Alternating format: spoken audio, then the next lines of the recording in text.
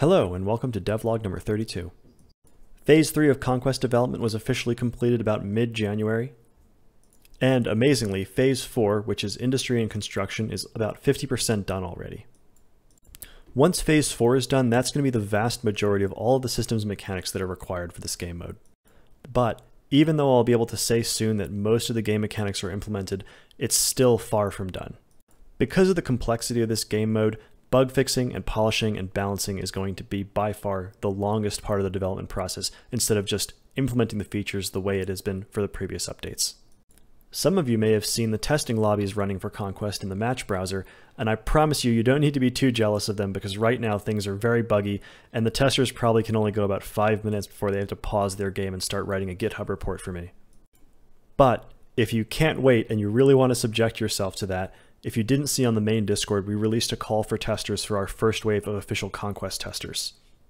Those applications are going to remain open until the evening of February 29th, so if you're interested, you can go fill that form out and I'll leave a link to it in the video description.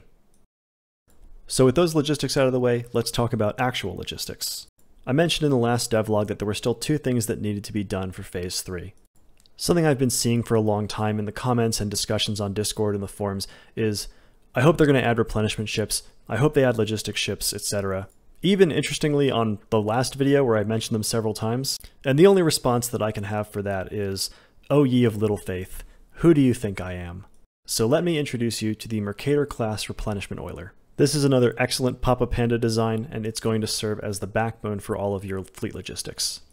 It's quite a large hull compared to all of the warships because it's designed to carry tons of fuel, tons of ammunition and supplies and stores. You can see how big it is compared to the Axford here. We wanted to make sure with the design that even though this ship isn't going to be animated and actually function to replenish ships in the skirmish battle, it still looked as functional as possible like it could actually work. The way it's designed to work is that it's got these docking clamps on the sides and they're adjustable. They slide around for whatever the size of the ship it's replenishing is, and they'll lock into these clamp receivers that you see on the hulls. Uh, we've been thinking about this for a long time, so all the decals are there to make it um, operate correctly. And then the cargo comes up through these decks in the center, and the arms will pick it up and carry it over to the ship and either, you know, install it in the VLS or carry it into the cargo hatch or whatever.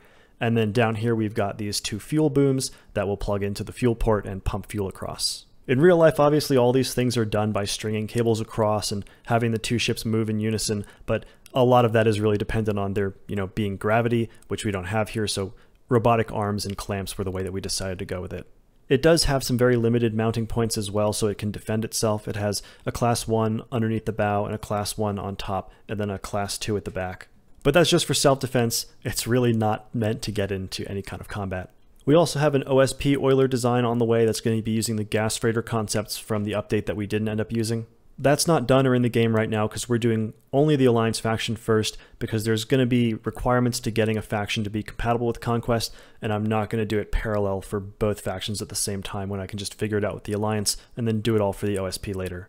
And just to tease you a little bit, we do have one other Conquest specific hull in the works per faction, but I'll show that to you in its due time. So the Oiler has a really cool design for when you're in skirmish and you're trying to protect or you're trying to destroy the enemies but all of its actually cool mechanics take place on the Conquest map. The first of those is providing fuel to the rest of the task force. So we can see that we have Task Force Ash here, which has 11 warships and one auxiliary. And let's take this task force and we're going to move it over to Animer. It's quite a long trip. Warships could make this on their own because keep in mind that fuel equals speed, not necessarily range. But if we want our attack to get there in a reasonable amount of time, we need an oiler to give us that burn capability. So you can see on the fuel report that as I change the burn times, it draws mostly from the oiler at first, but then when it hits about 10% reserve, it starts to burn into the warship's fuel storage. It actually took quite a lot of time to figure out an efficient way to do this because you don't want to just drain the oiler all the way down from the start and then start burning into the warships because then you won't have any fuel to send the oiler somewhere if you need to. You also might have noticed that the fuel numbers were quite a bit larger than they were in the last devlog, and we'll talk about that later. The other really big benefit that these oilers are going to give you is the ability to reload ammo for ships without having to go back to port. This allows you to sustain offensives far from your bases, but it also makes these ships gigantic juicy targets for the enemy where they can just sink your entire task force worth of ammo in one shot. So if we open up the replenishment planner here, we can see a list of all of our ships on the left hand side. It shows me all of their fuel and ammo conditions. They're all currently at 100% because I haven't spent any ammo or fuel from this task force yet. Normally, you're not going to need to replenish fuel for ships because they're all going to draw from the oiler anyway, because it's just simpler that way. The reason that this exists is so that you can top off ships before you, say, detach a task group to go do something else. So I'll choose ammo and fuel replenishment for these two ships and apply, and they'll show up on the schedule, and then I can edit their ammo requisition and their fuel requisition the same way I would do if they were in port. And again, since they're all at 100%, I'm going to take things off instead just to demonstrate this. So basically this thing just acts like a mobile supply station. It even uses the same systems under the hood just to keep it all uniform and consistent. And then there's also some quick options in the bottom left so you can rearm none or rearm anything with less than 33% or rearm anything less than 66% or rearm all and same for fueling. The other thing remaining to be done from Phase 3 is the ability to actually capture everything around a planet. Previously, stations were invulnerable and planets would capture instantly as soon as you took high orbit. Now, planets have a hierarchy of POIs that need to be captured, and capturing them is a multi-step process. So now when my task force here arrives at Garnet, I'm going to get prompted with the hierarchy of points of interest that I can capture, and I'll be able to choose where I actually want the battle to occur. And a pretty big quality of life improvement here is being able to actually see the planet's orbit and everything that's present. Anyway, on the right here at the top, you can see the list of all the points of interest and the hierarchy of how they're represented. So high orbit is meant to be the route. When you arrive to attack a place, you will have to capture high orbit first before you can capture anything else. And because it's the only thing that I can capture right now, since everything else is locked, it's going to be selected by default. And then below that, we have the contested landing, which is where we'll actually capture the planet itself, and then all the stations that are in orbit of the planet as well. Here you can see it says your team has the initiative, the way it works is that the attacker will start with the initiative, and then from then on, whoever wins the last battle gets to choose the location of the next until there are no more opposing forces. This works similarly for uncontested captures, so if my forces arrive at a point of interest that has no enemy forces, I'll just get to pick which of the points of interest I want to capture immediately. But with the same limitations, so I'd have to capture high orbit before I can move on to any of the stations, for example. Right now, capturing a POI is instantaneous, but that will change in the future once the invasion mechanics are more fleshed out in Phase 5. At this point in development, I've been trying really hard to stay away from any serious balance discussion because there's so much unimplemented and there's so much that's going to change and there's so many bugs that throw things off that it's really not worth it. But there is one thing that has come up in our test games that we've been playing that is so obvious that we really can't ignore it. And that obvious thing is travel times. The base acceleration values for the ships was chosen so that it would take about one to two months to cross the whole system, which in the scheme of a scenario like Great Powers is not that long, it's just a couple turns. But that does kind of leave a problem with a scenario like Minor Powers, where everything's crammed into this tiny moon system. With those acceleration values, it takes less than a day and certainly less than a turn to travel between basically any two moons. In the current minor power scenario, this is annoying because mostly you're playing reactively. You can't see an enemy unit coming and move a task force to intercept them at a planet, for example. But in great powers, this is going to be even worse because most of the things that you're doing are going to be taking place on seven day turns at the full solar system scale, and so anything that's happening in a moon system is just going to be going by in the blink of an eye. So we've done an experiment where we've scaled the acceleration of ships based on whether or not they're in a moon system. So for example, if the scaling in the Jool's Rest system is 25%, then that means that it's going to go from one to two days to fly between any two moons to two to five days. Fuel consumption also goes proportionally down, which is why the fuel numbers have jumped up so much, so that the burn rates could go up and give me more granular control of fuel consumption because I can only ever consume full units of fuel. On the other hand, traveling between planets goes at 100% acceleration, so let's say it takes about 23 to 25 days to travel from Jool's Rest to Animer. This means that where we had previously a 1 to 25 ratio of moon distance to planet distance, it's now about a 1 to 5 ratio, which equalizes things quite a bit. Does it make the most realistic sense? Probably not. And we could probably come up with excuses if we need to for why it is this way, but the bottom line is that this is an experiment to try to make things more fun by equalizing timeframes across the different scales of the system, and right now the results are really positive.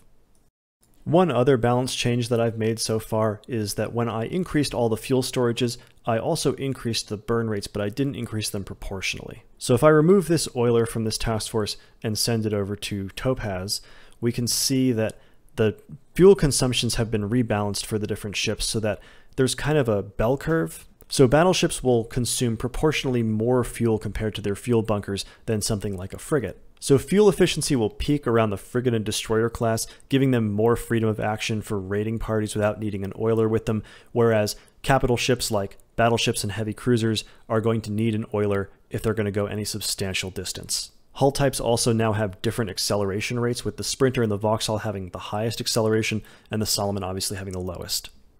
Alright, with all that out of the way, we can finally start talking about the Phase 4 stuff, which is industry and full logistics. Up in the top bar here, we've got our industrial resources on the left and our operational resources on the right. And those are common metals, rare metals, polymers, parts, fuel, and then provisions are not yet implemented, and ammunition. This button over here is going to control the scope of whatever's in these bars. So we can go from full system to the local planetary system, or we can go to just the planet that we're looking at right now, and you'll see that the numbers adjust as we change what our current zoom scope is. That's not the most useful right now because everything is confined to the Jool's Rest system, so the system and the planetary system are really the same. Clicking on any one of these will bring up a breakdown of not only all of the subtypes of this resource category and its counts, but also the locations where they can all be found. We can do that for ammunition as well and see all of our different ammo types as well as the locations where they're stored, and we can double click on them to go to that location. An important thing to note is that the numbers that you see at the top are actually a point value summary, all of these resources have a point value assigned to them to help me out with balancing, and it also makes it so that your 444,000 rounds of 20 millimeter slugs doesn't make the number at the top huge and effectively useless for you to know how much ammo you really have without opening up the breakdown. There's been a bunch of new stations added, and if we pull back, we can see that this will be the full extent of the minor power scenario here. I've also added these L points, so the system supports L1 through 5, although only 3, 4, and 5 have been placed for both Jool's Rest and Acherus. The reason for that is that they're the stable points where asteroids tend to congregate, so they make sense for mining stations. For this new station adding pass, I've added three new types of stations. We have mining, refinery, and factory stations. Let's start by zooming all the way back into Jool's Rest, and we'll take a look at Gas Platform 1. We can go to the information for this station and we can see under the industry tab that we have a production line here for the gas harvester, which is going to produce 5,000 fuel every hour. And then under that, you can see that we have two active outbound shipping routes, which are going to send 400,000 fuel out to these stations every two days. But we're going to talk about routes in depth in a second. Going all the way back out to Jool L5, we can see that we have two mining stations here. If we take a look at one of them, we can see that it has a common metal asteroid miner and a rare metal asteroid miner. And then it's also going to be shipping those raw materials to the two refineries at both Jade and Sapphire. Next, we'll hop on over to the refinery at Sapphire.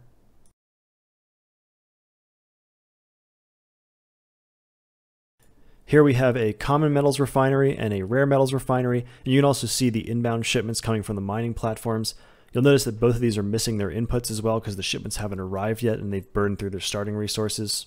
One thing that's weird here is that it's outputting polymers as part of the common metals refining process. The reason for that is that I need a way to generate them somehow, and in the real case, they're going to be coming from planets, and I haven't implemented the planet production nodes yet. The reason I haven't implemented them yet is because there's a lot to do for planets that's going to come in phase 5 and I don't want to have to implement it twice, so this is the stopgap for now. Pulling all the way back out again, we have these overlay buttons in the top right hand corner, and these control basically how the map looks. By flipping over to the logistics view, we can inspect all of our logistics network at the same time. In this mode, we can see these green lines representing all of our shipments or space lines of communication, showing where and how and what direction different materials are moving. By hovering over any of these lines, we can see a quick tooltip showing us the origin, destination, whether it's a routine shipment, what the schedule is, and what materials it's carrying. We can even right click on one of the lines if we want to edit or delete the route. Although keep in mind that a deleted route isn't actually going to disappear until the last cargo ship has been unloaded at the destination, and then the route will go away. All of the routes that you're seeing here are set up automatically by the scenario, so you don't need to worry about the tedium of going from the mining stations to the refineries to the factories every time you start a new game. So let's go ahead and add a shipment from the Jade Refinery to the Emerald Factory. I can do that in two ways. The first is by opening up the station's information page and going to the bottom of the industry tab, and then I have this add shipment button. But a much more intuitive and visual way is to just draw the line on the map. So I can add a logistics route here and drag it from Jade to the Emerald Factory, and it brings up this shipment manifest. Initially, it's limited to just the things that are on the station because that's probably what I want to be shipping, although I can uncheck this and I can send anything that I want to, and if it is available on the station, it'll be sent. So let's plug in some numbers here for what we want to send for common metals, rare metals, and polymers. I can also change the schedule of these shipments so I can set them every X number of days or I can only do it when the manifest is fully loaded. And I can make this shipment either routine or one time by unchecking this box. Routine is going to repeat indefinitely and one time is going to make it so that once this ship is loaded and sent off, the route is automatically going to be cut. And then once I click apply, it'll create the new route and you can see it appear on the map. And now I'll go ahead and execute the turn so that you can see this whole thing work. Once the turn starts executing, you'll see a cargo ship gets allocated to it and begins loading up and then will depart and begin flying over to its destination. These routes effectively have an unlimited number of cargo ships available to them, although they can only send one ship per route per day. The reason for that is that I just really didn't want to make it so players had to micromanage their cargo ships and worry about building them and taking up berth space for what could be used for warships. And then once it arrives, you can see that it begins unloading at the destination and then it just gets despawned. One thing that bothers me a lot about this is that there's a lot of text here on this shipments information list. The reason for that is that this is still obviously very early development and there's going to be things that change. I want to clean this up a lot, add icons to increase its brevity and make it a little more readable. The whole UI is kind of like that. I like the general way it looks and apparently a lot of other people do too. It's very utilitarian. But right now there's not a lot of uniformity, it's very cluttered, and the reason for that is that I'm just kind of trying things out and seeing what I like and experimenting with the way things can look. Once phase 4 is done, I'm going to do an actual pass on the UI, come up with a style sheet and a design guide and something that looks coherent, and then go ahead and implement all that on all the different windows. Anyway, the final step in our chain here is the factory stations. So if we open up the information for Emerald Factory, we can see that we have six production lines here. By expanding one of these accordions, I get the configuration page and I can see the list of all the recipes that are available to me. And I can select this missile type and I will see all of the inputs that are necessary to make it and what the output is, is just one missile. Similarly, I can configure all the different assembly lines to produce different things like an active decoy, and it's got a different production requirement list. I click the reconfigure button to start for the next turn the reconfiguration of this assembly line and note that it does take a significant amount of time to do that. The batch size is not only ever one though, so I can select the 250 ammo and you can see that I'm going to output 100 rounds at the end of the cycle. When it comes to intermediate resources like parts, I can either dedicate an assembly line to producing the one specific type of parts, or I can have a recipe for bulk parts, which will take more resources and slightly more time, but will also produce everything. So I'm basically trading resources and time in order to free up assembly lines. And again, it needs to be stated, all of these numbers are subject to balance changes down the line. This is obviously a lot of things to have to click through, so I made sure that it was all in one central place as well, so you can go to this industry production lines and you can see every station that has any kind of producing um, node and then you can configure it from here as well. So you don't need to go to the individual stations. You can just monitor all the progress from here. So that is the whole industry system, minus the planet production nodes, but those are just going to look exactly like stations. Yes, it's a lot of stuff, but I want to be clear that the goal here is not to turn this into nebulous Factorio command. If you haven't read the concept document, the reason why the system exists like this is to form this complex web of vulnerability that a team that's on the back foot can exploit, send out raiding parties to attack mining stations and sever logistics lines without having to face the main, larger enemy fleet in battle. It creates a lot of different things that you can split up your forces and send to attack, and also makes it so that concentrating all of your forces in one place to deathball them isn't the optimal solution because you can't defend the massive number of points that you have to if you aren't defending your mining stations or your gas platforms or your refineries or whatever, then yes, there's some inertia in the logistics system or in the industry system where even if you capture the station, the cargo ships that have already left are still going to go and do and deliver whatever they were supposed to deliver. But if you let it stay for too long, then eventually your giant battleship blob is going to starve. Next, I'm going to show you the ship blueprint manager. So this gives us a list of all of the designs for the ships that we have. And right now, these are only the starting designs that I created the faction with at the start of the game. So right here, we've got this support frigate, which is a class that I started the game with. You can see it's fitting and everything. And I'm going to add a new gun frigate design. You'll notice a difference between the two classes is that the support frigate has the green new construction marker and the gun frigate has a red one. The reason for that is that the support frigate is a class I started the game with. I already have a bunch in my navy, so obviously the new construction blueprint is already going to be researched. But I'm going to need to research anything I want to do with the gun frigate. And I wanted to take a more unique approach with research in this game because honestly, I really hate research tech trees in strategy games. I wanted research here to be much more about adapting to the enemy and tuning your designs and shifting your strategy. So there are two types of research for ships. There's new construction and refit. Because I already have a bunch of frigate hulls built, the first thing I'm going to do is I'm going to research a refit blueprint from the support frigate, which is the only other frigate design that I have, to the gun frigate. The amount of time it takes to research the refit plan is actually related to the number of sockets that have changed, so it just happens to round out to an even 24 hours here. And then I'm also going to add research for the construction plan so that I can build a new gun frigate from scratch in the shipyard. So I let that run through for a turn, and now we're going to go ahead and turn one of our support frigates into a gun frigate. The first thing we're going to need to do in order to do that is to find a frigate that's at the shipyard that I want to change. So we're going to take this one and enter it into port, and we're going to put it in a graving dock. When I open up the berth schedule, you can see nothing's actually scheduled for this ship already, so I'll right click it, and then I'll edit the refit order. Now I'm going to select the gun frigate because it's the only one that I can refit to because it's the only other frigate class, and it shows me all the materials that it's going to take in order to do this refit. And if these resources aren't present and it's going to draw them at a regular rate, then it's going to stall the work. And it's going to back up everything else behind it. So you can see now that this refit is actually pretty simple, so it's going to go in less than a day. But refitting larger ships is going to take quite a bit of time if a lot of sockets are changing. I definitely do want to keep these refit times short though when compared to new construction so that things are much more focused on changing your existing ships around to, to make adjustments compared to what the enemy is bringing instead of just pumping out new designs. And then we can also go to the shipyard production manager and I can add a new light cruiser to the queue. And once the berth schedule refreshes, you can see how long it takes to build the cruiser compared to refitting an existing frigate. There's also a missile blueprint manager, but it's pretty much exactly the same thing, but with no distinction between the research types, so we're not going to show that.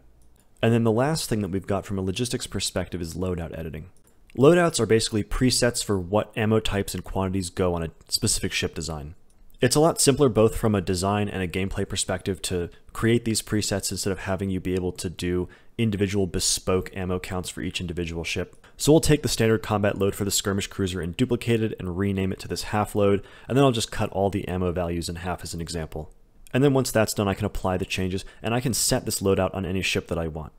I can also edit the values for loadouts that ships are already using, and it will update the values that are targeted for that ship, but it's not going to change any actual ammo values, although ships that are in port doing ammo transfer will have their work updated. And it'll give you warnings if you make any changes to loadouts that ships are currently using. For example, if you delete a loadout that ships are using, it'll say there are four ships using this loadout, and if you delete it, then it will revert all of them to their standard combat load. So here I've put one of our cruisers into port and I'm going to change its ammo requisition to use the half load and you can see that all the ammo counts are now greater than what they should be, so it's going to schedule a bunch of work to remove that extra ammo from the ship. And then to round all this out, we've got the beginning of the intel mechanics. The very beginning of that is better track management, and I'm not going to spoil anything beyond this because I've got a lot of cool ideas that I'm going to be experimenting with over the next few weeks.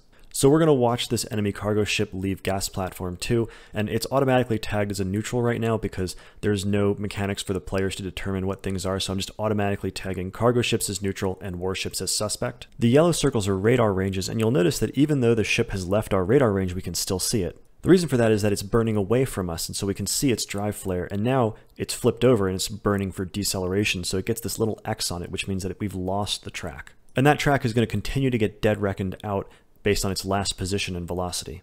Now, the Dead Reckoning is going to carry that cargo ship off the edge of the picture-in-picture -picture exploded view for Jool's Rest, but by the end of this turn, we're going to have these two additional cargo ships here that are going to end up being lost tracks. The picture-in-picture -picture may have been confusing for some people when I posted the video of it in the Discord, but I've added a couple additional features to maybe make it a little clearer. For example, this kind of lensing effect around the area of influence for Jool's Rest, but there's also a true scale option if you do find it confusing. I personally like the exploded view because I think it makes the system a lot more readable at a greater scale. Because when you pull back out and you go to true scale, like look at this mess of things that are at Jool's Rest. Who can even read that? I just think it makes it look better. But if you don't like it, there is true scale. I also added some quick tagging options for tracks because I noticed that players just weren't changing the track labels at all because the previous way you had to do it was you had to go to the edit track window and type in a label and choose an allegiance and that's just very tedious. So they just leave all the tracks as unevaluated. But now you can just click one of these quick tag options to change it. Now it's obvious that as the game progresses with all these lost tracks being dead reckoned out, it's going to get very cluttered very quickly. So a lost track is going to be automatically maintained until the end of the execution phase. So the next tasking phase starts and then you can see all the lost tracks and you can evaluate them as you need to. When the next execution phase starts, any lost track is going to be automatically dropped unless that track is labeled tactically significant or TACSIG. Suspect tracks are going to be automatically TACSIGed unless you choose not to, and then all these neutral cargo ship tracks are going to get automatically dropped when they're lost. If you really care about one though, you can right click it and mark it as TACSIG and then it's not going to get dropped. Once the intel mechanics are more further developed, there's going to be rules for determining how things are marked initially by the system. So for example, a track that's detected leaving an enemy-held planet is automatically going to be tagged as suspect, and then it's up for the intel officer to look at it and determine what it is and label it as hostile if it is. So that's it for this update. Next, I'll be finishing up Intel mechanics over the next couple of weeks and opening up the full ECODA system for the Great Power scenario, hopefully just in time for us to take on all our new testers in early March. The current testers are telling me they've been having a great time despite all the bugs. The game loop is solid. I just need to keep it that way and continue making improvements. So if you're interested, don't forget to apply to be a tester in the link in the description, and I'll see you next time. Thanks for watching.